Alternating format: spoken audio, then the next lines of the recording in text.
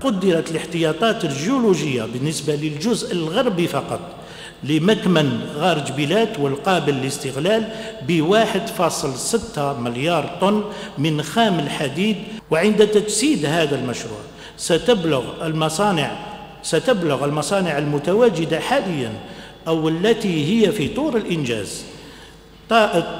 طاقات إنتاجية من الصلب تقادر 12 مليون طن سنويا. والذي يقابله توفير ما يعادل 20 مليون طن سنويا من مادة الحديد الخام.